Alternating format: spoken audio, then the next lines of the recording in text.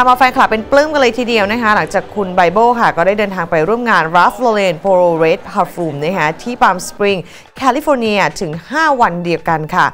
ะคุณไบเบิลนะคะเขาก็ยังเล่าถึงเหตุการณ์เมื่อวาน ก่อนที่จะไปส่งคุณเจฟซาเตอร์ แล้วก็คุณบาร์โค้ดเหินฟ้าไปยัง ซีเอ่อไปถ่ายซีรีส์ที่ประเทศเกาหลีนะคะเจ้าตัวก็ยังพูดถึงแมวตัวใหม่ด้วยที่ได้ซื้อมาล่าสุดนะคะตั้งชื่อให้ว่าโอคามิเออแล้วก็กำลังหาเวลานะคะเพื่ออยู่กับแมวให้ได้มากที่สุด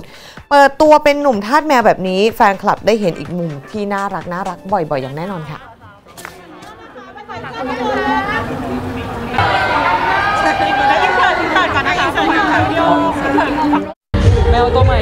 อ่า American Curl นะครับผมเป็นอ่าพันธุ์พันธุ์ American Curl ตัวสีขาวชื่อโอคามินะครับผมผมเห็นว่าแมวตัวล่าสุดก่อนตัว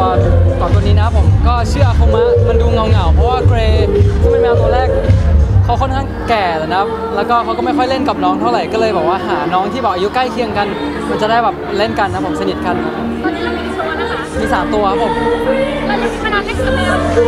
ก็พยายามบริหารเวลาให้ดีๆครับผม แต่ว่าก็ตอนนี้ก็อยู่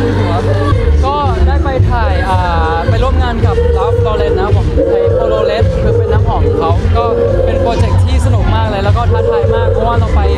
แค่ 5 วัน แล้วผมก็ต้องอ่าต้องอ่าดีลกับการที่เจ็ตแลกอะไรอย่างเงี้ยครับผมแล้วก็คือไปลงเครื่องแล้วก็ทำงานเลยครับผมก็เป็นอะไรที่สนุกมากครับ ได้ไปเที่ยวได้ไหมห้าวันไม่ได้ไม่ได้ไปเที่ยวเลยครับผมถ่ายงานเสร็จกลับบ้านเลยครับผมก็จริง ๆ แล้วทางทีมเขาแจ้งมาว่าไม่น่าจะทันแต่ว่าผมบอกว่าเราต้องเราต้องพยายามเนาะเราต้องสู้ เราก็เลยผมก็เลยแบบอ่าลุ้นดูว่าจะทันไม่ทันก็สุดท้ายก็ไม่ทันนะผม ฟกับบาแล้วแล้วก็บอกว่าโชคดีขอบคุณทุกคนมากเลยนะครับ ที่ติดตามพวกเราผ่านรายการ Entertainment Day นะฮะ แต่ว่าพวกเราก็มีอีกหลากหลายช่องทางครับ ไม่ว่าจะเป็นทั้งทาง YouTube แล้วก็ทาง Facebook ด้วย ซึ่งก็สามารถไปเสิร์ชกันได้ที่ True Insight นะครับ ฝากกดไลค์กดแชร์ Subscribe กดกระดิ่งกันให้ด้วยนะครับ แล้วก็มีอีกหลากหลายช่องทางด้านล่างนี้ได้เลยครับ